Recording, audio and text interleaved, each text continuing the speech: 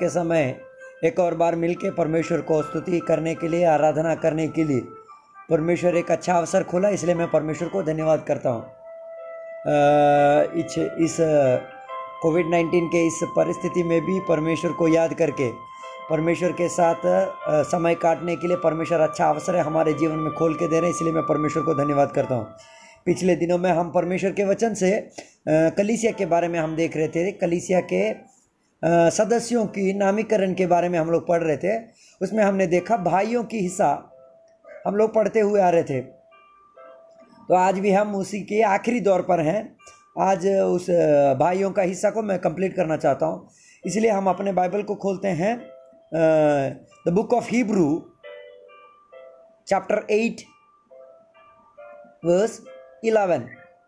इब्राहियों का किताब, आठवां अध्याय उसका ग्यारहवां वचन।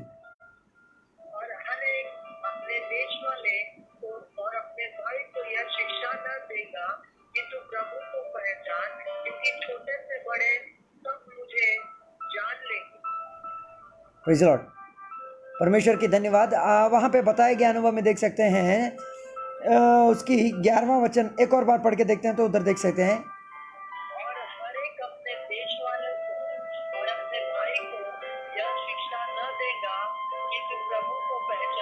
देखा ना शिक्षा ना देगा प्रभु को प्रभु को पहचान। उसके बाद? क्योंकि छोटे से बड़े तक हाँ।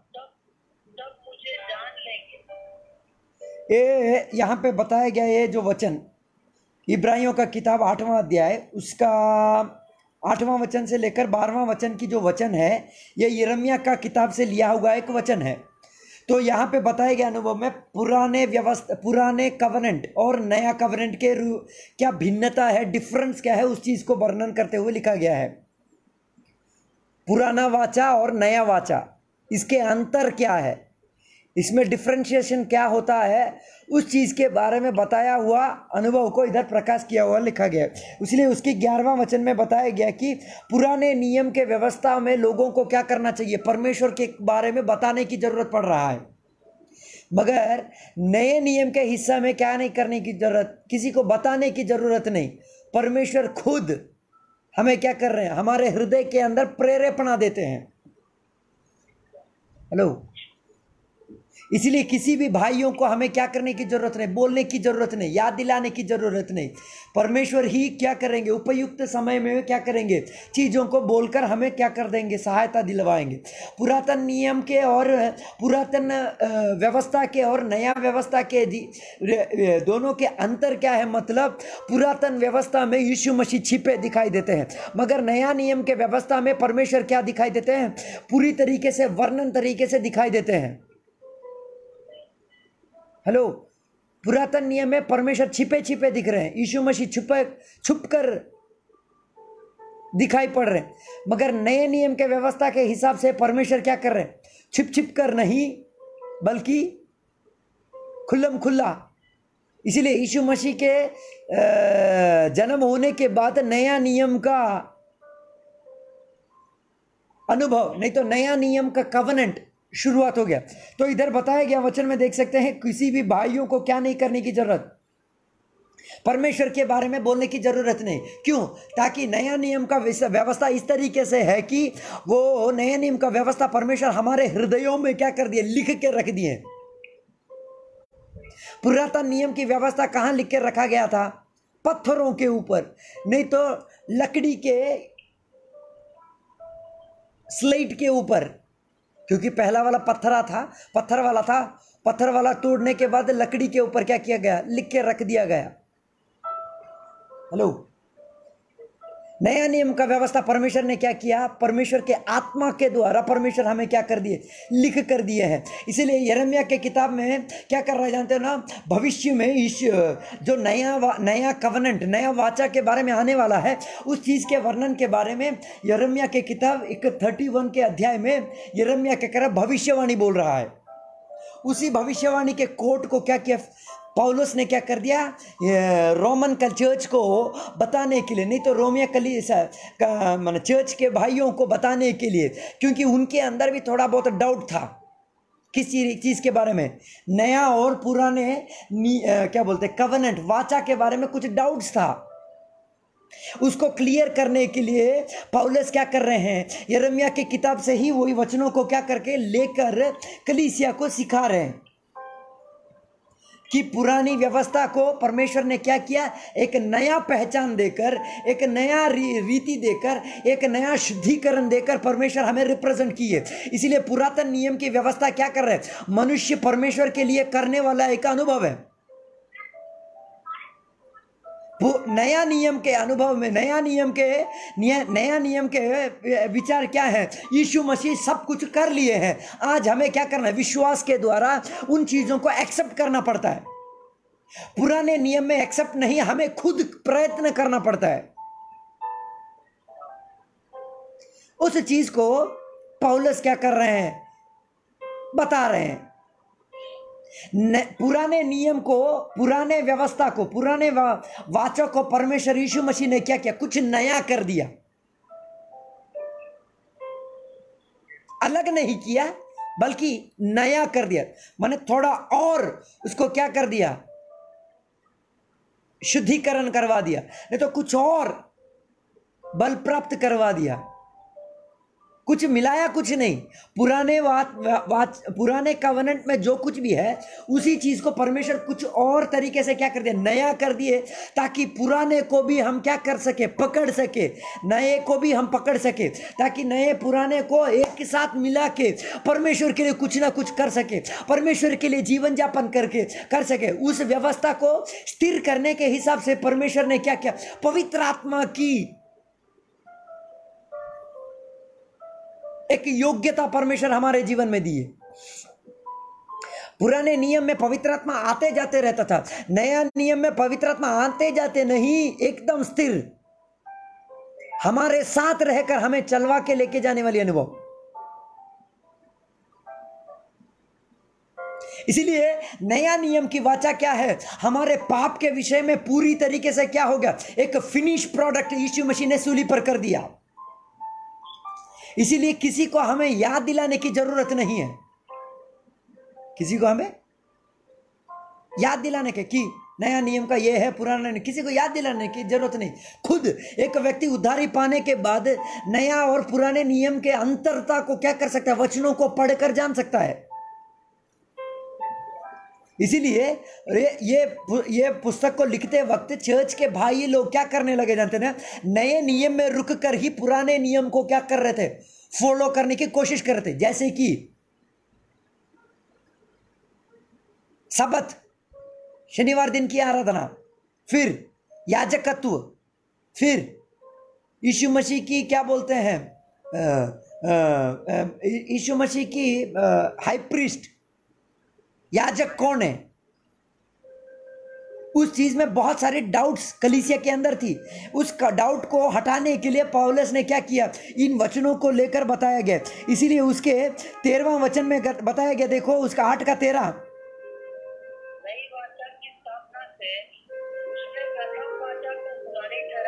नई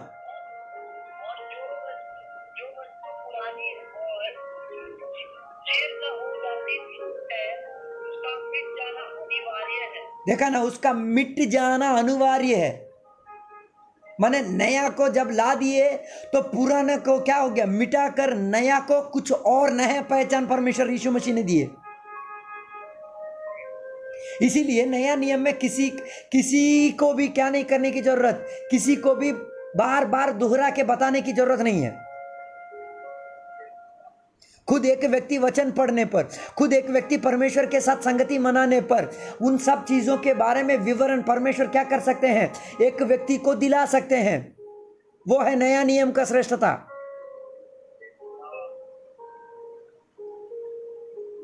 वो है नया नियम का पहचान। वही नया नियम का पहचान ने क्या कर दिया? लोगों को यीशु मसीह के ऊपर आधारित होने के लिए आश्रयवान कर रहा है। इसीलिए नया नियम का वाचा का पूरी तरीके से किसके ऊपर आधारित है? यीशु मसीह के ऊपर आधारित है। यीशु मसीह के सिवाय और कोई भी हमारे जीवन में क्या नहीं कर सकता? कुछ भी उन्नति नहीं दे सकता। इसीलिए व्यवस्था की कुछ सिद्धांत नहीं हमें आश्रयवान करना। नया नियम के पहचान में यीशु मसीह के ऊपर आश्रयवान होने पर बाकी सब कुछ चीज़ें, यीशु मसीह से हमें क्या मिल सकता है? हमारे जीवन में पूर्ण बन सकता है। इसीलिए नया नियम का वाचा यीशु मसीह के ऊपर केंद्रित है। सब नियम, व्यवस्थाएँ, सब कुछ किसके ऊपर? यीशु मसीह सेंटर बन गए। मध्यवर्ती बन गए। हेलो? इसीलिए आज हमें यीशु मसीह के ऊपर आश्रयवान होना ज़रूरी है। इसीलिए आज कलीसिया के हर एक सदस्य वचनों से भी अधिकतर क्या यीशु मसीह के ऊपर आधारित होने का कोशिश करना चाहिए। Depending on Jesus Yeshu Masih ने किया हुआ त्याग, यीशु मसीह ने किया हुआ सब कुछ, बलिदान, वही चीज़ को बहुत कंसंट्रेट करने का ज़रूरत इसीलिए एक मन, एक मनुष्य उद्धारी पाने के लिए यीशु मसीह को क्या करना चाहिए? अपने उद्धार करती उद्धारकर्ता के रूप में क्या करना क्या ग्रहण करना ज़रूरी है। इसीलिए एक व्यक्ति यीशु मसीह का अपना प्रभु बोलना है तो किसका सहाय, किसी, किसकी ज़रूरत है? पवित्र आत्मा की ज़रूरत है। हेलो ये सबके लिए ओपन अप है। पुराना नियम का वाचा केवल किन के लिए? इसराइलियों के ही लिए था।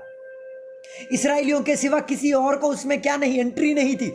मगर नया नियम का जो वाचा है, वो सबको क्या कर दिया? फ्री एंट्री दे दिया। वो फ्री एंट्री कहाँ से हमें मिला? यीशु मसीह से हमें मिला। हेलो इसीलिए हमारा परफेक्ट एग्ज़ाम्पल कौन है? यीशु मसीह है।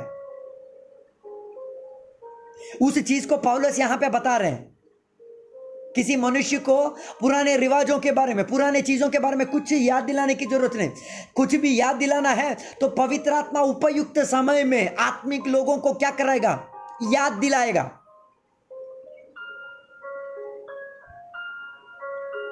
इसीलिए पुरानी नया नियम की व्यवस्था परमेश्वर कहाँ पे लिखे? हमारे हृदय में लिखे। इसीलिए किसी को भी इस वचनों को क्या करने की ज़रूरत नहीं?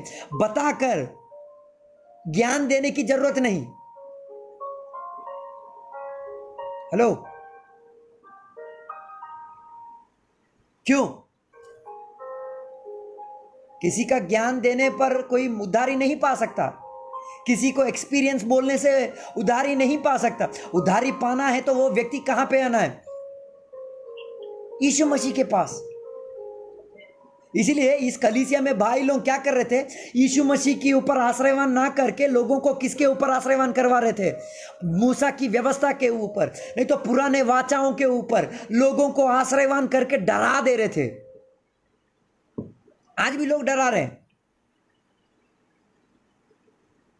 क्या बोलते हैं?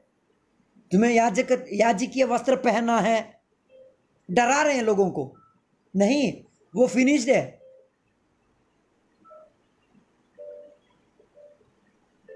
पुराने रिवाजों को आज भी लोग क्या कर रहे हैं? कंटिन्यू कर रहे हैं। इसीलिए क्या करते हैं? पुनरुद्धान के दिन कहाँ निकल जाते हैं सब? हेलो गुड फ्राइडे के दिन सब कहाँ निकल जाते हैं? क्या क्या करते हैं वो लोग? क्यों वो सब कर रहे हैं? क्योंकि वो लोग लोगों को डरा रहे हैं। वो लोग यीशु मसीह से अधिक क्या? दूसरे चीज़ों के ऊपर केंद्रित हो रहे हैं। इसीलिए आज ये इस नया नियम के वाचे के हिसाब से हमारा डिपेंडेंसी हमारा आश्रय यीशु मसीह के ऊपर होना चाहिए। किसी मनुष्य, किसी व्यक्ति, किसी अनुष्ठान, किसी एक्सपीरियंस किसी नॉलेज के ऊपर नहीं, से केवल किसके ऊपर? यीशु मसीह के ऊपर। इसीलिए उसका बारहवां वचन में बताया गया, सब प्रकार के गलतियों को, बारहवां वचन एक बार पढ़ो।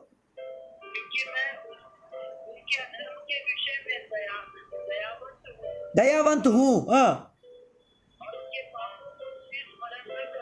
देखो ना, उनके पापों को मैं क्या नहीं करूँगा। I shall not remember any more मैं कभी भी उस उन चीज़ों को क्या नहीं करूँगा। याद नहीं करूँगा। क्यों?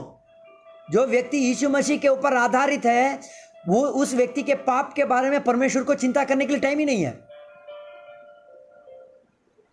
जो व्यवस्था के ऊपर आधारित है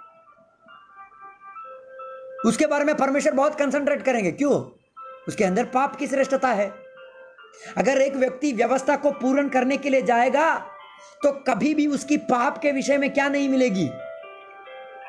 हाँ, उधारी नहीं मिलेगी रिहाई नहीं मिलेगी। तो वो व्यक्ति कैसा ठहरेगा? पापी ठहरेगा। मगर एक व्यक्ति यीशु मसीह के ऊपर आश्रयवान होने पर उसके पाप के विषय में क्या हो जाएगा? एक एक एक एक एक, एक हिसाब किताब क्लियर हो जाएगा। इसके द्वारा उसको और कभी भी पापी नहीं कहते उसको धार्मिक कहा जाता है। इसीलिए परमेश्वर कभी भी हमारे पापों को क्या नहीं करते याद नहीं करते। उधारी पाने के बाद भी परमेश्वर अगर पाप को याद करेंगे तो उसका अर्थ क्या है? हम लोग फिफ्टी फिफ्टी हैं। हम फिफ्टी फिफ्टी हैं, इसीलिए परमेश्वर हमारा पाप याद करता है। इसलिए कलिसिया को क्या बता रहा, भाइयों को क्या पता है किसी को किसी चीज़ की भी याद करने की ज़रूरत है ही नहीं। पवित्र आत्मा उपयुक्त समय में, वचन उपयुक्त समय में, यीशु मसीह उपयुक्त समय में लोगों को क्या करेगा? बताते रहेगा। हेलो? हमारा स्वच्छ मन हमसे बात करेगा। वो है नया नियम का क्या? वाचा। नया नियम क्यों दिया गया? ताकि यीशु मसीह को और अधिक अधिक अधिक जान पा रहे जानकारी ला, ला पाए। यीशु मसीह को और अधिक अधिक ज्ञान प्राप्त कर सके। यीशु मसीह को अगर एक व्यक्ति पहचान लिया एक व्यक्ति ज्ञान प्राप्त कर लिया तो पुराने नियम के वाचाओं को यीशु मसीह का पूर्णता में दिखाई देगा। यीशु मसीह के अंदर दिखाई देगा। इसीलिए हमें आश्रयवान यीशु मसीह के ऊपर होना ज़रूरी है। नया नियम का हिसाब से यीशु मसीह के ऊपर आश्रय। इसीलिए आज भी इसराइल, इसराइली लोग, नहीं तो यहूदी लोग यीशु मसीह के ऊपर आश्रयवान नहीं है। किसके ऊपर आश्रयवान है? आज भी पुराने नियम के व्यवस्थाओं के ऊपर आश्रयवान है। उनका परिस्थिति कितना कठोर बन गया है। हर महीना, हर साल, हर दिन उनके लिए क्या है? कुछ ना कुछ बलि चढ़ाते रहना चाहिए, कुछ ना कुछ करते ही रहना चाहिए। मगर नया नियम में जो व्यक्ति यीशु मसीह के ऊपर आधारित है, जो कलीसिया के अंदर योगदान पाया है, वो यीशु मसीह से सब कुछ पा रहा है फ्री सप्लाई इसलिए यीशु मसीह ने कहा, जब तुम सच जानोगे, सच तुम्हें क्या करेगा? छुटकारा देगा। If you know the truth the truth the truth shall leave you to liberty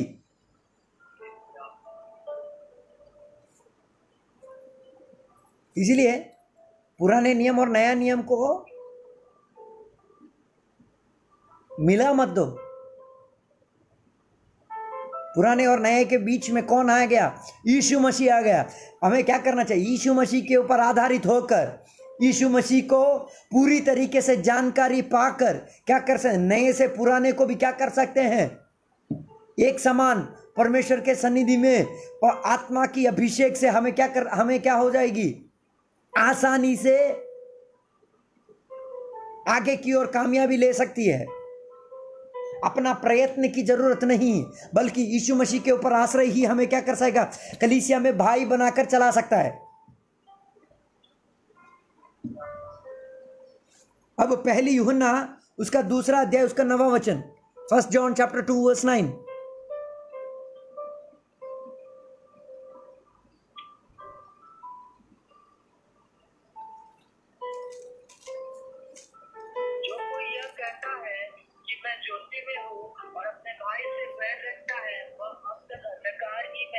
hello अगर जो कोई कहता है, मैं ज्योति में हूँ और अपने भाई को क्या करता है? वैर रखता है हेट करता है। तो वो क्यों है? कहाँ है? अंधेरे में है। क्योंकि कभी भी एक व्यक्ति रोशनी में रुक कर अंधेरे का काम नहीं कर सकता। क्योंकि रोशनी और अंधेरे में क्या है? बहुत अंतर है। रोशनी कौन है? यीशु मसीह है। अंधेरा कौन है? शैतान है। रोशनी में रुक कर एक व्यक्ति शैतान का काम नहीं कर सकता। अंधेरे में रुक कर एक व्यक्ति रोशनी का काम कर सकता है। मगर रोशनी में रुक कर एक व्यक्ति अंधेरे का काम नहीं कर सकता। अगर एक व्यक्ति रोशनी में है तो वो रोशनी में ही रुक कर काम करना चाहिए रोशनी में क्या है? प्रेम है, हमदर्दी है, दया है। मगर अंधेरे में क्या है? दुष्टता, मौत, दर्द, मारने वाली अनुभव, आत्मिक नष्ट। इधर इधर बताया गया क्या है? अगर कोई रोशनी में है नया नियम का सुसमाचार क्या है? रोशनी का सुसमाचार है। इसीलिए यीशु मसीह ने कहा, मैं जगत का ज्योति हूँ, तुम भी जगत का ज्योति बनो। You are the light of the world Yeshu Masih का वचन लाइट है। तेरे वचन मेरे पाँव के लिए क्या है? दीप है।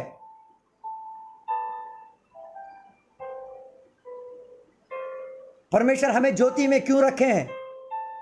ताकि हम लाइट बनकर जीवन जापन करें।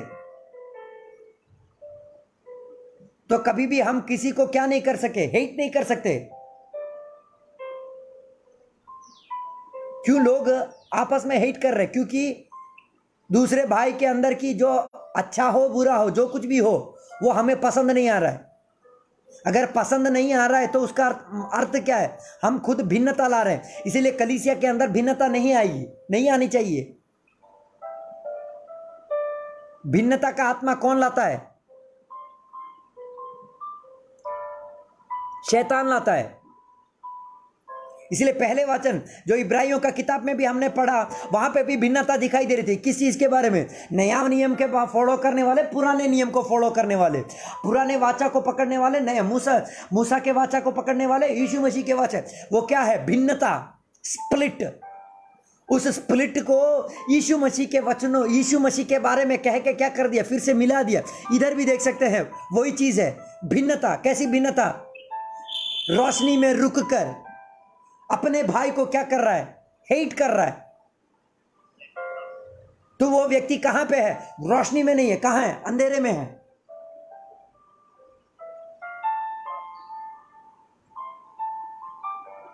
इसीलिए उधर क्या बताया गया? देखो फिर एक बार उसको क्या है? नवा वचन पढ़ के देखो। जो कोई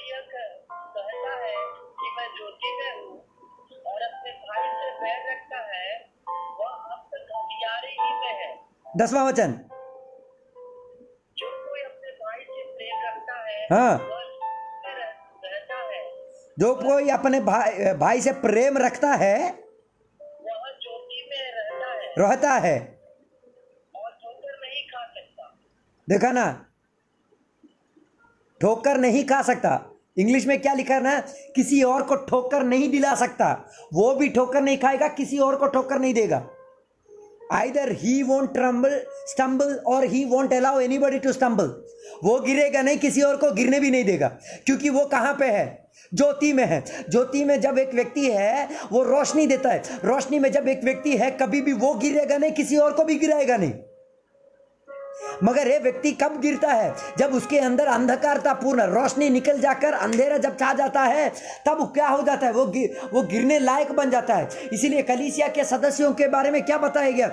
लोगों को गिराने वाले नहीं खुद गिरने वाले नहीं सबको खड़ा करने वाले अनुभव। रोशनी में जो कोई भी है उस जगह में लोग क्या क्या खड़ेंगे इसीलिए बाइबल कहते तुम जगत के ज्योति हो। You are the light of the world light कभी नीचे नहीं रहती, हरदम ऊपर ही रहता है। जब कोई अंधेरे में है, वो नीचे रहेगा।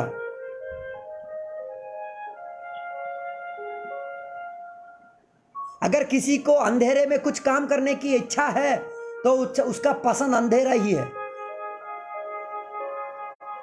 डिस्को डांस क्लब सब देखो, सब अंधेरे में काम चलता है।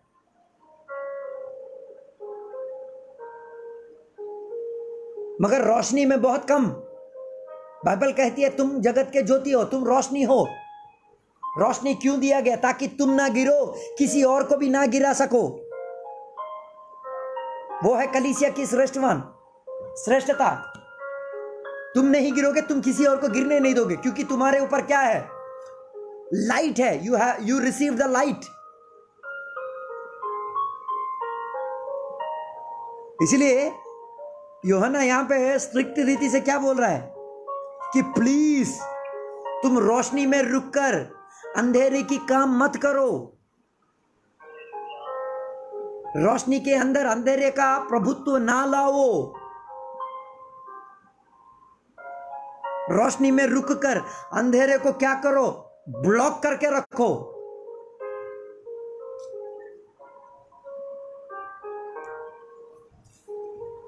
अभी उसी पहली यूहना चार का बीसवां वचन पढ़ के देखो।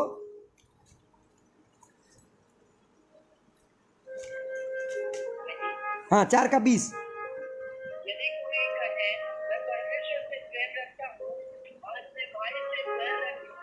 है तो वह झूठा है, उसके बाद।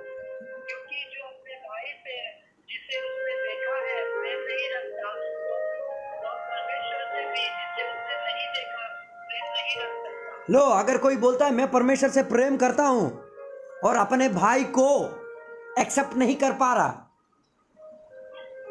हेलो अपने भाई को? हाँ। उसी, वही तो हिट करेगा ना। हेलो कलीसिया के अंदर भाईचारा क्या है? सबके लिए एक्सेप्टिंग है। छोटा नहीं, बड़ा नहीं, ऊँचा नहीं जात नहीं, धर्म नहीं, भेद नहीं, भाव नहीं, कुछ नहीं, सब एक समान है। चर्च एक हॉस्पिटल है। हॉस्पिटल में सबको एंट्री है। है ना ना? सबके लिए एंट्री है। अगर हम सबको एक्सेप्ट नहीं कर रहे हैं तो उसका अर्थ क्या है? हमारे अंदर कुछ झूठापन है। झूठा कौन है? शैतान है। हाँ या ना?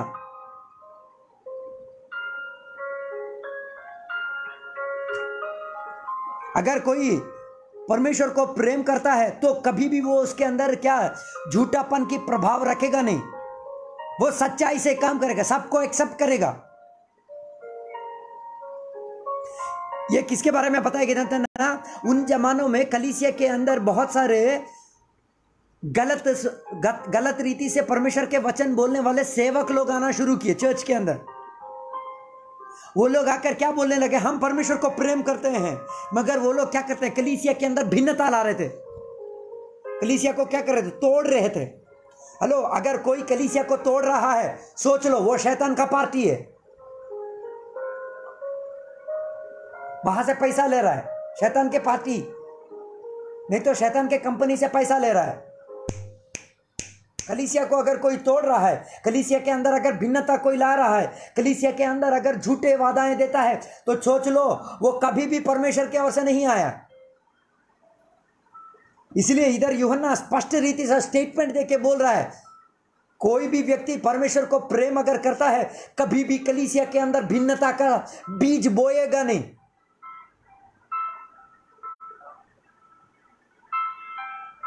हो सकता है लोगों को कलीसिया के अंदर वचन की वचन की ज्ञान के विषय में भिन्नता हो सकती है।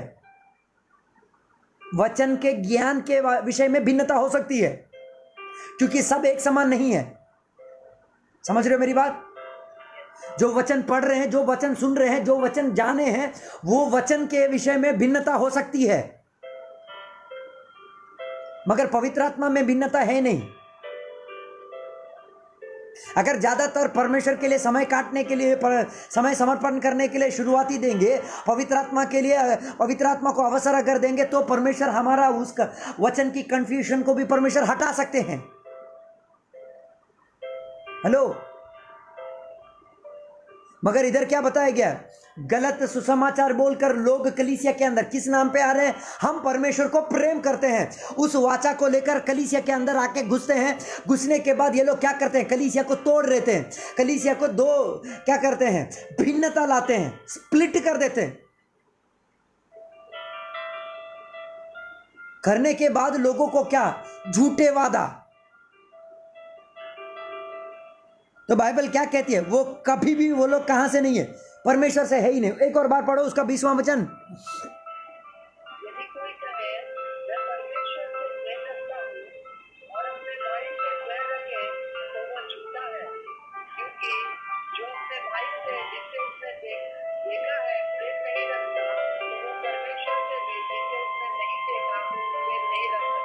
हेलो, परमेश्वर से भी क्या नहीं रख सकता?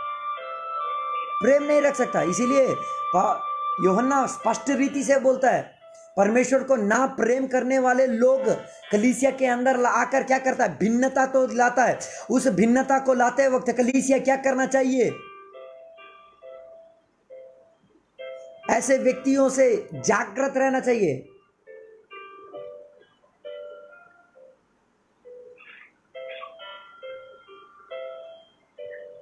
इसीलिए बीसवां और इक्कीसवां वचन से अगर हम लोग पढ़ते हैं तो देख सकते वो एक कमांड के हिसाब से बताया गया आज्ञा के हिसाब से बताया गया है। अभी उसी यूहन्ना पहला अध्याय, उसका छवा वचन पढ़ के देखो, और तरह क्लियर होगा। एक का छः है।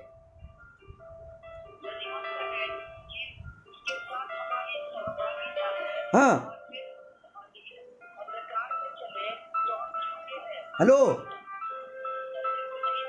हमारा सहवास परमेश्वर के साथ है और हम कहाँ चल रहे हैं? अंधेरे में चल रहे हैं मतलब पाप में चल रहे हैं। किसके बारे में बताया गया? कलीसिया के अंदर जो फॉल्स टीचर्स लोग हैं, गलत वचनों को बताने वाले लोग, नहीं तो गलत रीति से परमेश्वर को पहचानने, पहचान कर कलीसिया के अंदर आए हुए लोग हैं। वो लोग क्या बोलते हैं? हम लोग भी परमेश्वर के साथ क्या मनाते हैं? संगति मनाते हैं। हमें भी परमेश्वर के साथ रिश्ता है। मगर वो लोग क्या काम करते हैं? काम कहाँ करते हैं? अंधेरे की काम करते हैं।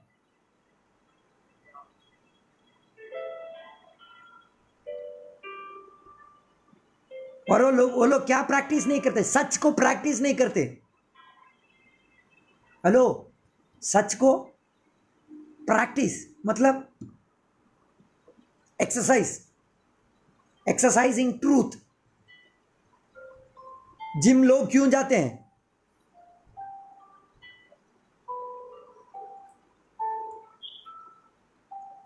जिम में लोग जाते क्यों हैं? शिक्षण पाने के लिए। कैसे? शरीर का शिक्षण।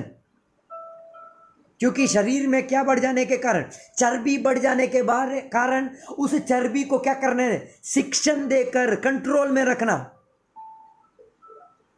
तो कलीसिया के अंदर हमारा काम क्या है? भाईचारा फेलोशिप परमेश्वर हमें क्यों दिए? ताकि सच्चाई को हमारे अंदर झूठ, झूठापन आ सकता है। झूठेपन को सच्चाई में क्या करना? प्रैक्टिस करना। झूठ बोलने की अवसरें आएगी। झूठा निकल जाने की परिस्थितियाँ आएगी। उस समय हमें क्या करना चाहिए? प्रैक्टिस करना है सच्चाई के लिए।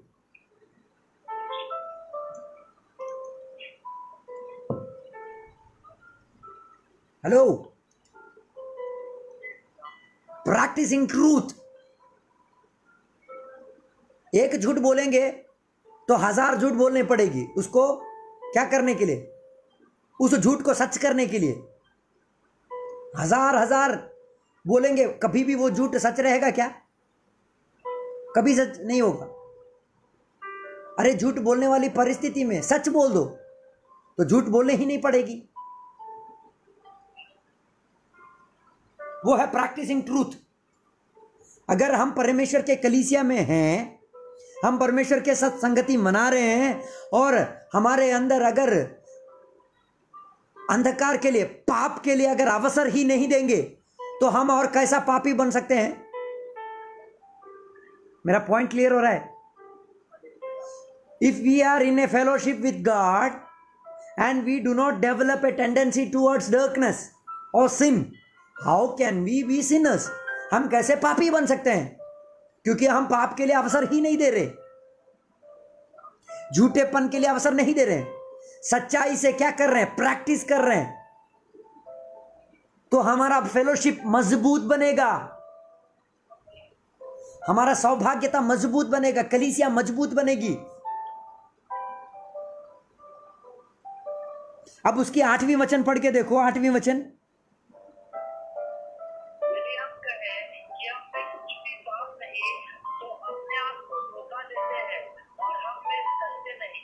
देखो, अगर इसका अर्थ यह नहीं, हमारे में पाप नहीं है क्या? पाप है। मगर उस पाप को क्या करने नहीं देते हैं? ब्रीड होने के लिए नहीं देते। क्या होने के लिए नहीं देते? बढ़ने के लिए नहीं देते। तुम्हारे खून खून में क्या है? उसको पाप का प्रभाव है। मगर उसको डेवलप करने के लिए नहीं देते। इसीलिए बाइबल कहता तुम गुस्सा करो, मत, मगर पाप मत करो। गुस्सा क्यों आ रहा है? क्योंकि तुम्हारे बॉडी के सिस्टम के अंदर, वो इमोशन पैकेज के अंदर गुस्सा है। निकला निकला, निकल गया नहीं है। इसलिए बहुत सारे लोग बोलते हैं, मैं यीशु में हूँ, मुझमें कोई पाप नहीं। नो तुम यीशु में हो। पाप नहीं है, मगर पाप का प्रभाव है।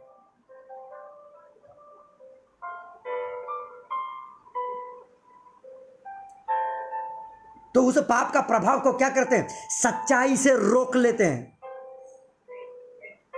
With the revelation of truth, we block the prevalence of sin. पाप की ब्रीडिंग को सच्चाई के द्वारा बंद करके रोक रखें। सच्चाई कौन है? यीशु मसीह है। तो हमारा आश्रय किसके ऊपर बन रहा है? यीशु मसीह के ऊपर बन रहा है। सच्चाई के ऊपर जब हम आश्रयवान बन रहे हैं, सच जब हम लोग डिक्लेयर कर रहे हैं, सच जब हम लोग बोल रहे हैं, सच को जब हम लोग प्रैक्टिस कर रहे हैं तो क्या होती है? पाप ब्रीड नहीं हो पा रहा है। मल्टीप्लाई नहीं हो पा रहा है। हेलो।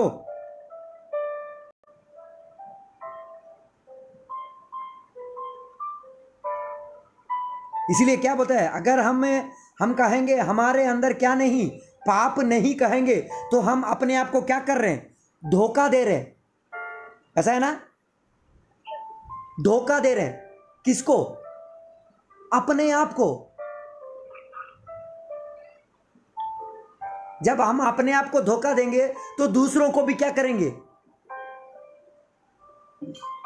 जब हम अपने आप को धोखा देंगे, तब दूसरों को भी हम क्या करेंगे? धोखा ही देंगे।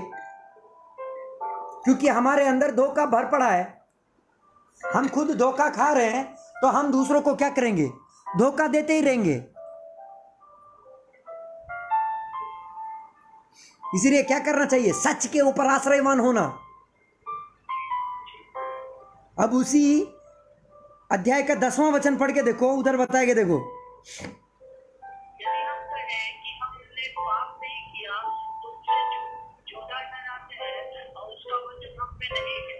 अगर तुम कहो कि तुम में पाप हाँ पाप नहीं किया। हाँ हमने पाप नहीं किया क्या? किया है। इससे पहले किया है। मगर अभी क्या नहीं कर रहे हैं? उसको अनुमति नहीं दे रहे बहुत सारे लोग को क्या बोलते हैं? यीशु मसीह में मैं आ गया, इसलिए मेरा पुराना पाप है, सब यीशु मसीह क्या कर दिए? माफ़ कर दिए। इसलिए मैं और पापी नहीं हूँ। ऐसा है क्या? पुराने पाप का जो है, उसके बारे में परमेश्वर क्या कर दिए? क्लियर कर दिए। हेलो, ये किन के बारे में बताया जा रहा है ना जो कलीसिया के अंदर घुसकर आने वाले सेवकों के बारे में बताएँगे। वो लोग बताने, वो लोग प्रचार करने वाला सब्जेक्ट है। कि मुझमें क्या नहीं है? पाप नहीं है। मैं पापी नहीं हूँ। मनुष्य सब पापी हैं। उसका अर्थ मैं पापी पापी पापी बोलकर घूमना नहीं। मैं पापी पापी बोलने के वजह मैं क्या बोल रहा हूँ? यीशु मसीह के ऊपर आधारित हो रहा हूँ। मेरी आश्रय यीशु मसीह के ऊपर। इसलिए ये जो, ये व्यक्ति लोग जो कलिसिया के अंदर घुस का है, वो लोग यीशु मसीह के ऊपर आधारित नहीं है। किस चीज़ के ऊपर आधारित है?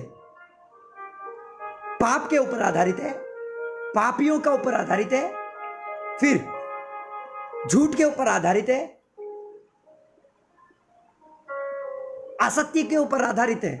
यीशु मसीह के ऊपर ये लोग का आधार नहीं ये वचन जो जो हमने पढ़ा, कहीं भी यीशु मसीह के बारे में बता रहे हैं कि वो? लोग कहीं भी नहीं बोल रहे।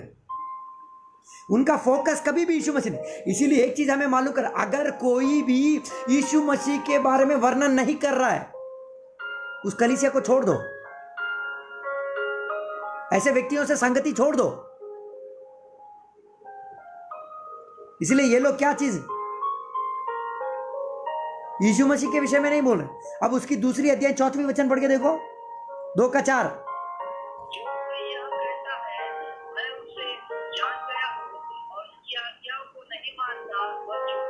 हूँ है। देखो। मैं उसको जान गया हूँ मगर उसकी मानता। अयो।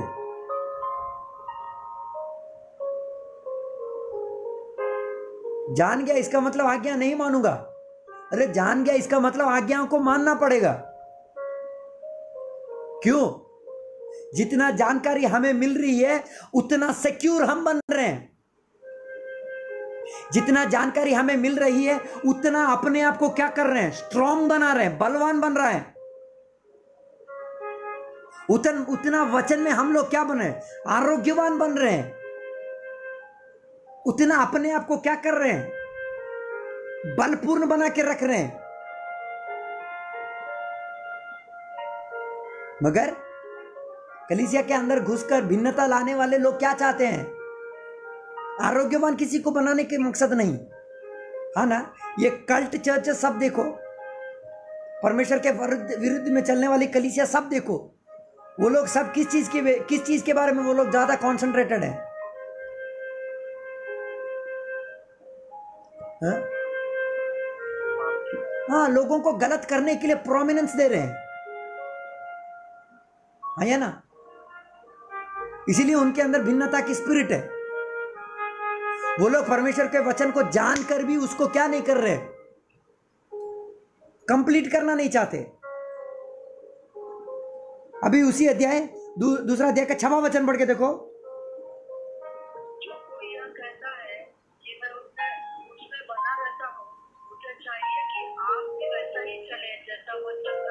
हेलो, यहाँ पे किसके बारे में बताया गया है?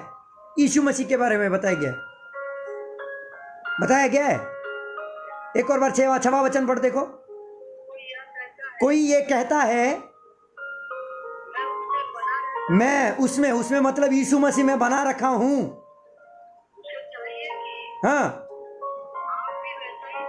हेलो, अगर तुम यीशु मसीह में हो तो यीशु मसीह जैसे चले, वैसे तुम भी चलो।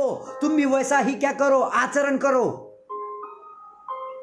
अगर लोग यीशु मसीह के ऊपर चलते नहीं है, यीशु मसीह के हिसाब से चलते नहीं है तो वो यीशु मसीह के ऊपर आश्रयवान नहीं है। ऐसे बहुत सारे भाई यहाँ कलीसिया के अंदर घुस गए और गलीसिया के अंदर क्या लाते हैं? भिन्नता की आत्मा की बीज बो रहे हैं। उनको यूहन्ना बोलता है, उनको क्या करो? उनको सही तरीके से बनाओ। उनको अच्छी तरीके से वचन बताओ।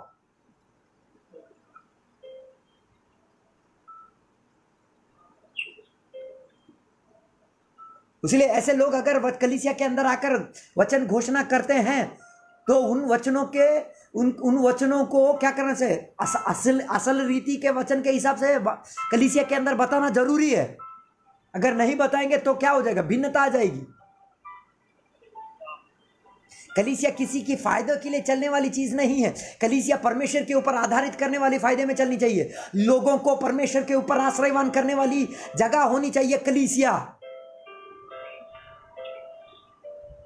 कलीसिया भाइयों का एक मिलन वाला केंद्र है, जो जो कि सबके सब मिलकर परमेश्वर के ऊपर आधारित, वचनों के ऊपर आधारित, पवित्र आत्मा के ऊपर आधारित। है उस रीति से कलीसिया क्या करना चाहिए? चलने की ज़रूरत है। इसीलिए यूहन्ना क्या करता है? कलीसिया को सेट करने के लिए, बना के रखने के लिए, भिन्नता की आत्मा को तोड़ डालने के लिए, वचन से कलीसिया को क्या कर रहे हैं? बोलकर बलवान बना रहे हैं।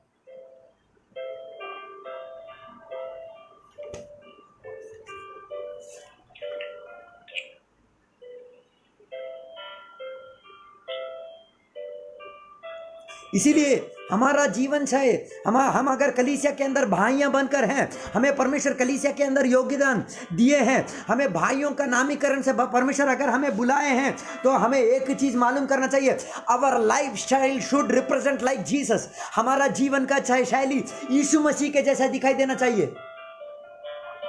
अगर आज यीशु मसीह यीशु मसीह जीवित होते तो मेरे जैसे होते बोलने का लायक। If Jesus would be at present alive I would be like him मैं उसके जैसे रहूँगा। मैं उसके जैसे चिंता करूँगा। मैं उसके जैसा व्यापार करूँगा। मैं उसके जैसे सुसमाचार बोलूँगा। मैं उसके जैसे चलूँगा। मैं उसके जैसे व्यवहार करूँगा। क्यों? मेरा लाइफस्टाइल यीशु मसीह है। मैं यीशु मसीह को रिवील कर रहा हूँ। हेलो परमेश्वर तुम्हें कलीसिया के अंदर भाई का हिस्सा क्यों दिए? ताकि यू रिली रिवील क्राइस्ट तुम यीशु को रिवील करो, मसीह को रिवील करो। रिवील का मर्द अर्थ क्या है? छुपा एक चीज़ दिखाई देना। वैसे बोलने से समझ में नहीं आएगा। डायमंड देखियो डायमंड जब तक डायमंड मिट्टी के अंदर है, तब तक वो छिपा पड़ा है। मगर कोई अगर मिट्टी खोद कर डायमंड को मिट्टी धीरे धीरे धीरे निकाल कर निकाल कर अगर खोदता जाता है तो क्या मिलता है? रोशनी ऊपर उसके ऊपर पड़ते ही तुरंत क्या होने लगता है? डायमंड क्या होने लगता है? चमकने लगता है। हाँ ना? उसी डायमंड को लेकर अंधेरे वाला रूम में लेकर रख दो। क्या करेगा? अपना चमक दिखाएगा। वैसा ही होना चाहिए। हमें भी रिवीलिंग यीशु मसीह का रिवीलिंग ऐसा ही होना चाहिए। हम छुपे पड़ के पड़े हुए परिस्थिति में कहाँ की पड़े थे? मगर यीशु मसीह ने हमें ढूंढ निकाला। हम यीशु मसीह के क्या बन गए? डायमंड्स बन गए। डायमंड का क्या काम क्या है? उसका ओरिजिनलिटी दिखाना। शो यूर तुम कलीसिया के अंदर भाई बनकर प्रवेश किए, बन गए, भाईचारा के अंदर आ गए तो show your real identity as in Christ Yeshu Masih में तेरा जो शैली है, उस चीज़ को तुम दिखाओगे। कभी भी वो छुप नहीं रख सकता।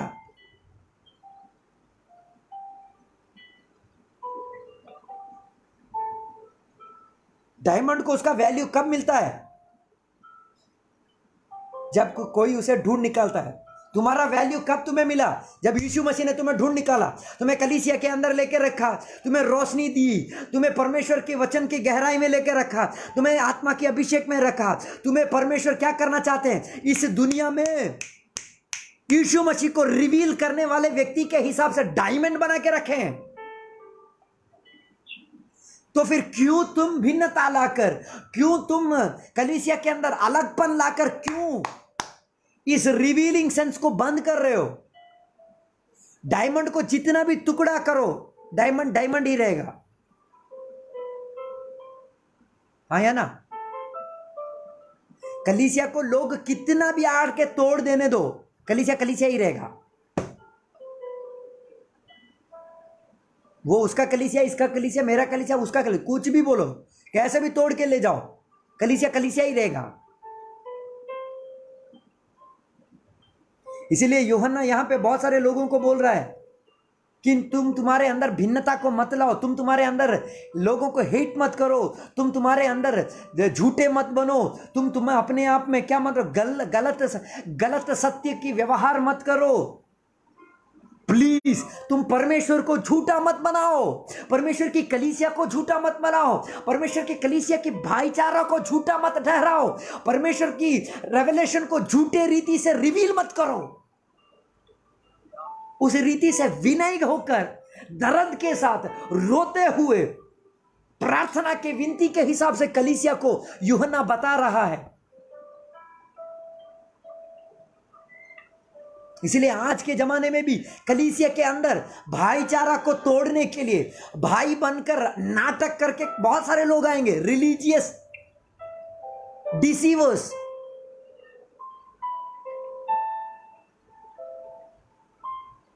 धर्म वंचक मसीह के अंदर, मसीह के नाम पर आकर, मसीह, मसीहत को ही डुबाकर तोड़ लाने वाले लोग बहुत अधिक कलिसिया के अंदर घुसा रहे हैं। उनको रोकने के लिए क्या करना चाहिए? कलिसिया के भाइयाँ दे शुड रिवील क्राइस्ट वो लोग मसीह को रिवील करना शुरू करेंगे। तो कभी भी ऐसे भिन्न तरीके से आने वाले लोग कलिसिया के अंदर आर नहीं रख सकते, रुक नहीं सकते।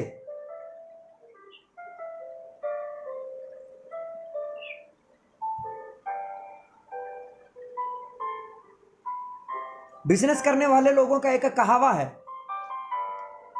बिज़नेस करो, झूठ बोलकर भी क्या करो? कमाई फैलाओ। बिज़नेस करो, झूठ बोलकर भी क्या करो? प्रॉफिट कमाओ। मगर वो क्या है? धोखा है। तुम जिस कस्टमर तुम्हारे चीज़ लेके जा रहा है, वो धोखा खा रहा है। अरे एक बार धोखा खाया हुआ व्यक्ति दूसरे बार उधर आकर खरीदेगा क्या? नहीं खरीदेगा। ऐसे ही होना चाहिए कलिसिया के अंदर। एक बार कलिसिया का अंदर की जो भाईचारा का, भाईचारे में लोग यीशु मसीह को रिवील जब कर रहे हैं, भिन्नता लाने वाले लोग अगर कलिसिया के अंदर भी आ गए, उनका काम कलिसिया के अंदर काम नहीं लगेगा।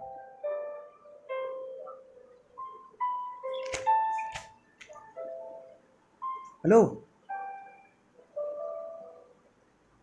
इसीलिए ऐसी भिन्नता वाली चीज़ों को क्या करना चाहिए? कलीसिया के सदस्यों के अंदर से हटाना चाहिए। भिन्नता लाने वाली झूठे हिस्साएँ। नहीं तो भाई भाई के बीच बीच में विरुद्धता लाने वाली चीज़ों को क्या करना चाहिए? तोड़ जला तोड़ लेना चाहिए। कैसे तोड़ सकते हैं? ताकि यीशु मसीह को अगर रिवील कर सकते हैं। वचनों के द्वारा यीशु मसीह को रिवील करो। आत्मा के अभिषेक के द्वारा यीशु मसीह को रिवील करो। अन्य भाषा बोलकर यीशु मसीह को रिवील करो। भविष्यवाणी बोलकर यीशु मसीह को रिवील करो। चमत्कार कर कर यीशु मसीह को रिवील करो। विश्वास करके यीशु मसीह को रिवील करो।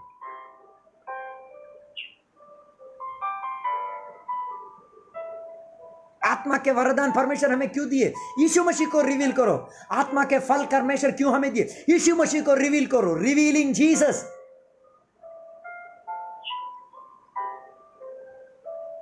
रिवील करो कि आज भी यीशु मसीह ज़िंदा है। वो यीशु मसीह ज़िंदा मेरे अंदर है।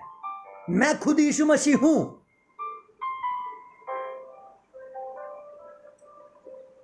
अगर ऐसी एक पहचान भाईचारा के अंदर आएगा तो कभी भी कलीसिया के अंदर भिन्नता नहीं आएगी। कभी भी भाई भाई विरुद्ध में कभी भी नहीं ठहरेंगे। भाई भाई कभी झूठा नहीं ठहरेगा। भाई भाई परमेश्वर के वचन विरुद्ध नहीं खड़े रहेगा।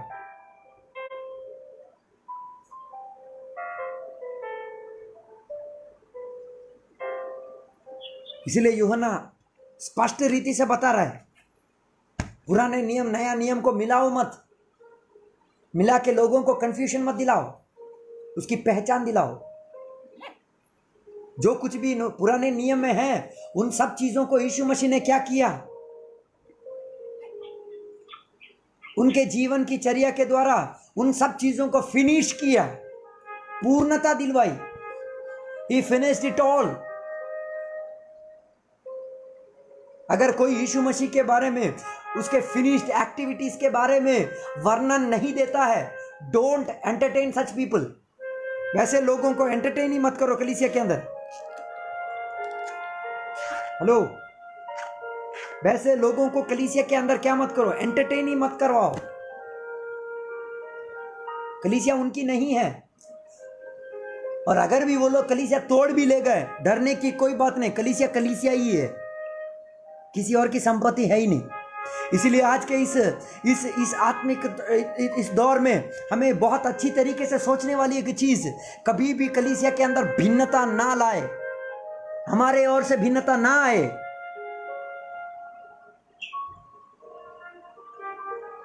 उस रीति से वचन के आधारित हमें क्या करना चाहिए? यीशु मसीह को रिवील इसलिए हमारा, हमारे प्रार्थनाओं में, विनतियों में एक ही चीज़ है परमेश्वर, मैं तुझे रिवील करते हुए एक ज़िंदगी मुझे दो। I should reveal you Jesus I should reveal Jesus in my workplace मेरे काम करने क्षेत्र में मैं यीशु मसीह को रिवील करूँगा। मेरे बिज़नेस में यीशु मसीह को रिवील करूँगा। मैं अपने चाल चलन में यीशु मसीह को रिवील करूँगा मेरी बोलती में मैं यीशु मसीह को रिवील करूँगा मेरे कामकाज में मैं यीशु मसीह को रिवील करूँगा मेरे प्रार्थना में मैं यीशु मसीह को रिवील करूँगा मेरे अन्य भाषा में मैं यीशु मसीह को रिवील करूँगा मेरी भविष्यवाणी में मैं यीशु मसीह को रिवील करूँगा मेरी वचनों में मैं यीशु मसीह को रिवील करूँगा मेरी आत्मा की पूर्णता में मैं यीशु मसीह को रिवील करूँगा मैं चमत्कारी काम करने से यीशु मसीह को रिवील करूँगा मैं कुछ भी सिखाऊँगा तो यीशु मसीह को रिवील करूँगा मेरे अंदर सच है, मेरे अंदर ज्योति है, मेरे अंदर परमेश्वर की वचन की गहराई है। मैं परमेश्वर के वचन को मानने वाला हूँ। मैं नए कवनंट के हिसाब से वाला हूँ। मैं परमेश्वर के ऊपर आधारित व्यक्ति हूँ। दिखाओ इन चीज़ों को। और बताओ, आज भी यीशु मसीह ज़िंदा है। वो ज़िंदा खुदा है।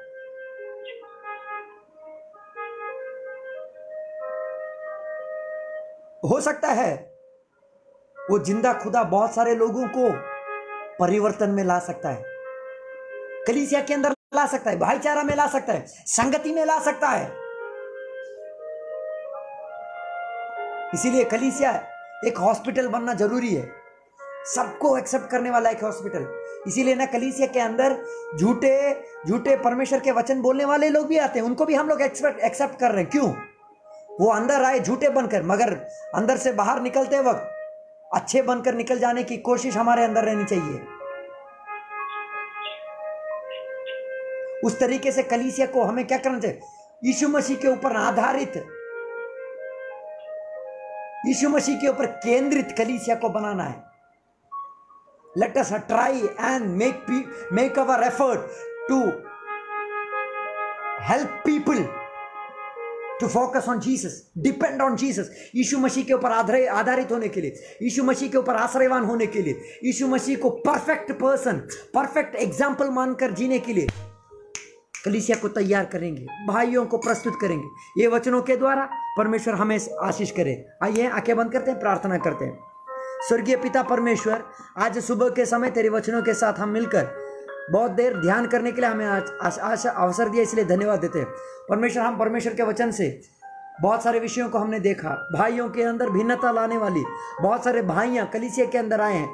परमेश्वर, उनको परमेश्वर के वचन के द्वारा सठीक कीजिए, उनके अंदर की भिन्नता की आत्मा को दूर कीजिए। कलिसिया तुम्हारी है परमेश्वर, कलिसिया को आप ही बनाई है। परमेश्वर, कलिसिया को पूर्ण तरीके से आप ही का प्रभाव चलना चाहिए। परमेश्वर कलीसिया को हमें बना के रखा है, ताकि हम परमेश्वर यीशु मसीह को रिवील कर कर कलीसिया को जागृत करके, जागरण करके रखने के लिए हमें सहायता दीजिए। भिन्नता, दुष्टता, अंधेरता, इन सब चीज़ों को दूर रख कर कलीसिया को परमेश्वर के ऊपर आधारित करके यीशु मसीह को रिवीलिंग करने वाला एक कलीसिया बनकर रखा, इसलिए धन्यवाद। आदर और महिमा सब कुछ आपके हाथ में हम सौंपते हैं, यीशु मसीह के नाम में मांगते हैं। आमेन। हालेलुया।